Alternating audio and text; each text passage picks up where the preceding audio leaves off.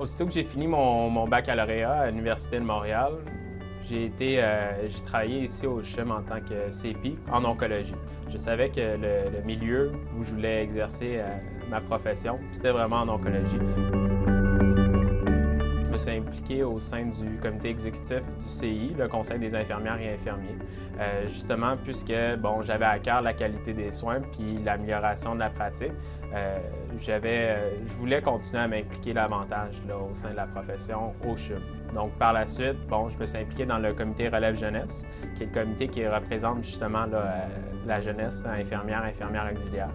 Ben, en fait, je pense que d'allier autant les études que le travail, que bon, les comités, euh, ça passe par la passion, ça passe par les défis. Fait que je pense que quand on, carbure à ça, on trouve toujours le temps pour euh, répondre justement aux multiples euh, objectifs, aux, différents mandats.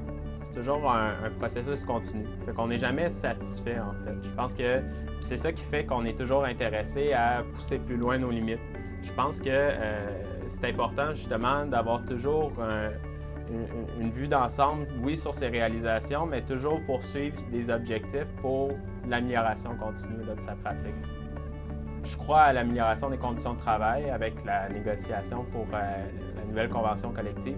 Je crois que euh, le public réalise enfin l'importance d'avoir des, infirmières, des infirmiers qui sont bien formés, qui sont, qui sont dans le fond, bien supportés, puis qui peuvent exercer leur profession pour, dans le fond, euh, la qualité des soins auprès de la clientèle. C'est certain que je veux poursuivre mes études à, la maîtrise. Euh, puis pour moi, un de mes objectifs de carrière, c'est faire euh, le programme d'infirmier praticien spécialisé en oncologie. C'est certain que pour l'instant, ce n'est pas implanté au Québec, mais je pense que c'est la voie de l'avenir dans la profession.